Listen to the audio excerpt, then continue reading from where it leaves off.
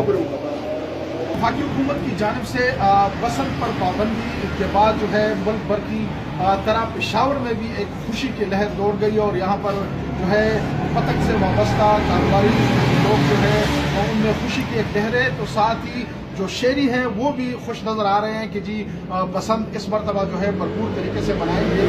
اس وقت میرے ساتھ ایک لاہور سے آئے ہوئے شہری جو پشاور میں جو ہے پتن یہاں پر گڈی فروش کے ساتھ کھڑے ہیں اور یہاں پر وہ خریداری میں مصروف ہیں۔ وہ آئیے ان سے جانتے ہیں کہ جو مسل پر پابندی ہوتی ہے، تو اس حوالے سے ان کے کیا وہ ہے جی میرا نام پیاز علی ہے۔ میں لاہور کا رشی ہوں۔ اور یہ جو حکومت نے کام کیا، یہ بہت اچھا کیا ہے۔ ہم بڑے خوش ہیں۔ نو سال، دس سال سے ہماری جو دل کی دھڑکنیں بند تھیں وہ ان شاء اللہ تعالیٰ حکومت کی وجہ سے جی جی ہمارا یہی خیال ہے کہ ہم بولتے کہ یہ پنجاب سے جتنا گیا ہے یہ ہمارا مہمان ہوتا ہے۔ ہم جتنا بھی کام ہے، اس کے ساتھ ہے، وقت ہے۔ اور ہم حکومت سے بہت خوش ہے کہ اس نے یہ فیصلہ کیا۔ چلو تھوڑا بہت انجوائے بہت ہے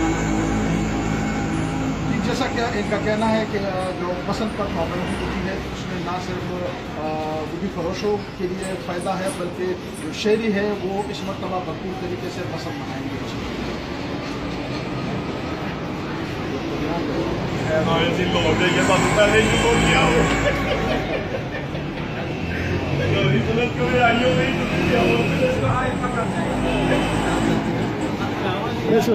ہاں